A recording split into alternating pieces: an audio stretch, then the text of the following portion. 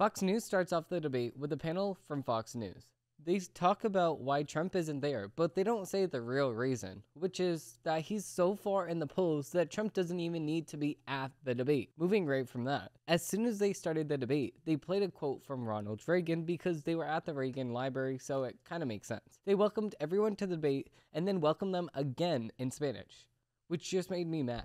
We need an official language in the United States, and that is English. Just like how Mexico has an official language, and that's Spanish, or Spain has an official language, and that's Spanish. It's not just for every other country in the world to have an official language, but the United States can't. That's preposterous. They then start asking questions with Tim Scott. They ask him, What are you going to do to fix the problem at the southern border?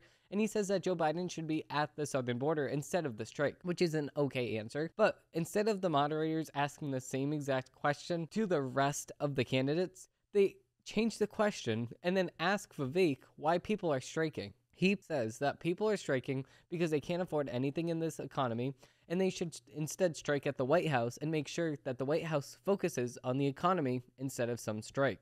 While Vivek says this, Tim Scott turns to him and gives him a dirty look. They then turn to Mike Pence and ask him the same exact question, and he says that the White House should focus on America and not China. They then ask Nikki Haley, and then she says that people are striking because of the state of the economy, and then goes on to say that we need to make sure that we lower taxes for everyone and put more money in the pockets of workers so they don't feel like they have to go on strike to survive. They then ask the incredible Doug Burgum what he thinks and he says that the reason why they are striking is because of the fact that we are subsidizing electric cars over gas powered cars, so we need to invest in America instead of China. They ask Chris Christie, and he says that the reason people are striking is because of the, our debt and the state of the economy and the inflation. He then says that we need to change that.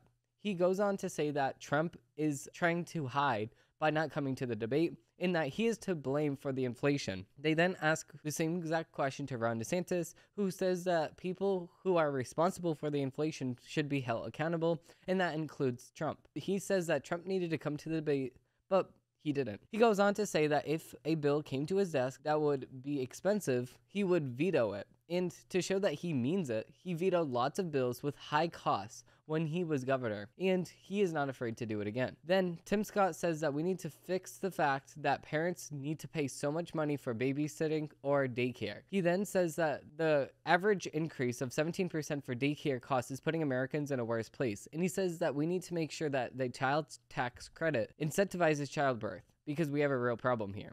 After that, we need to make sure that we have more kids. It's detrimental. But after the first 30 minutes of the debate, they all started screaming at each other, and after they were done screaming at each other, Vivek starts changing the way that he looks at the other candidate. Last debate, he said that all of them were bought and sold, but this time he says that they were all good people.